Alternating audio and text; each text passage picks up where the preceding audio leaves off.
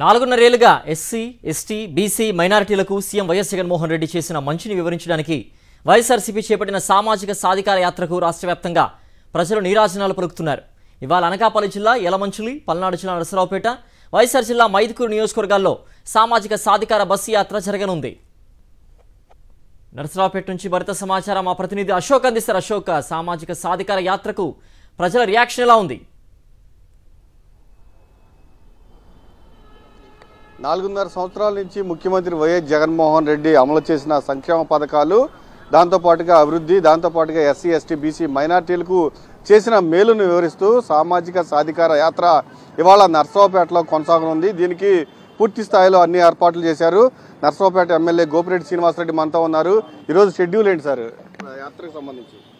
యాత్రకు సంబంధించి మొట్టమొదట ఇన్ఫ్లుయెన్సర్స్ మీట్ అంటే ఈ యొక్క ఉన్న పట్టణంలో ఉన్న ప్రముఖులు వాళ్ళందరితోటి కూడా దాదాపు రెండు గంటల పాటు చర్చాగోష్ఠి ఉంటుంది. వాళ్ళ యొక్క సమస్యల్ని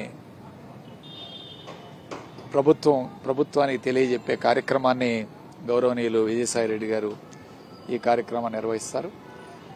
రెండు గంటల్లో ఈ కార్యక్రమం ఉంటుంది. తర్వాత ప్రెస్ మీటు మనకు వచ్చే అతిథులందరూ కూడా ప్రెస్ మీట్ చెప్పే కార్యక్రమం.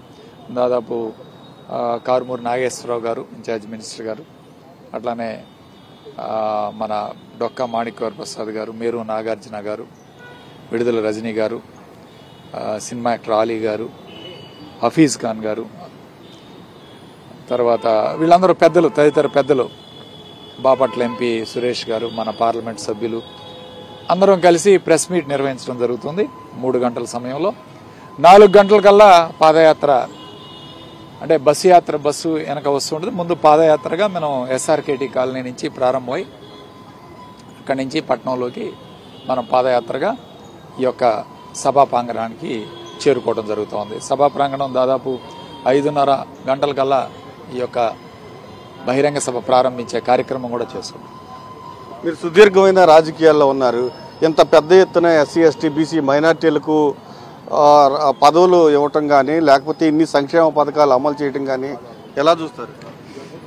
ఒక్క నర్సరావుపేట నియోజకవర్గానికి సంబంధించి ఎస్సీ ఎస్టీ బీసీ మైనార్టీలకి డైరెక్ట్ బెనిఫిట్ స్కీమ్ ద్వారా సుమారు ఐదు వందల పద్నాలుగు కోట్ల రూపాయలు ఇప్పటి వరకు కూడా డీబీటీ ద్వారా కేటాయించే కార్యక్రమం అలానే నాన్ డీబీటీ ద్వారా సుమారు రెండు వందల యాభై కోట్ల రూపాయలు నాన్ డీబీటీ ద్వారా ఈరోజు ఎస్సీ ఎస్టీ బీసీ మైనార్టీలకి నర్సరావుపేట నియోజకవర్గంలో ఈరోజు ప్రభుత్వం ద్వారా లభించడం జరిగింది. అంటే మొత్తం కలిపి సుమారు ఏడు వందల యా ఎనభై కోట్ల రూపాయలు సుమారు ఈరోజు ప్రభుత్వానికి ప్రభుత్వం ద్వారా ఎస్సీ ఎస్టీ బీసీ మైనార్టీలకి నర్సరావుపేట నియోజకవర్గంలో సుమారు ఎనభై వేల మందికి ఎనభై వేల కుటుంబాలకి ఈరోజు లబ్ధి చేకూరింది ఈ నర్సరావుపేట నియోజకవర్గం. ఇది ఈరోజు అంటే మొత్తం కలిపి ఈ నర్సరావుపేటలో తొంభై వేల కుటుంబాలు ఉంటే ఎనభై వేల కుటుంబాలకి ఈరోజు ప్రభుత్వం ద్వారా లబ్ధి చేకూరిన మాట వాస్తవం. ఇది కేబినెట్లో ఎస్సీ ఎస్టీ బీసీలకు పెద్దపీట వేయటం కానీ లేకపోతే శాసన మండలి కానీ రాజ్యసభ సభ్యులు కానీ ఎట్లా చూస్తారు? ఒక రాజకీయ నాయకుడిలా గతంలో ఎప్పుడు కూడా బీసీ ఎస్సీ ఎస్టీ మైనార్టీలని ఒక ఓట్ బ్యాంక్ గానే చూశారు గత ప్రభుత్వాలు. ఈరోజు జగన్మోహన్ రెడ్డి గారు అలా కాదు. రాజకీయంగా వాళ్ళకి ప్రాధాన్యత ఇచ్చి ఈరోజు ఇరవై ఏడు మంది మంత్రులుంటే సుమారు అరవై శాతం మంత్రి పదవులు. ఈరోజు ఎస్సీ ఎస్టీ బీసీ పది పదిహేడు మంది మంత్రుల్ని ఎస్సీ ఎస్టీ బీసీ మైనార్టీలకు సంబంధించి. అట్లానే ఉప ముఖ్యమంత్రులు చేసుకునే కార్యక్రమం.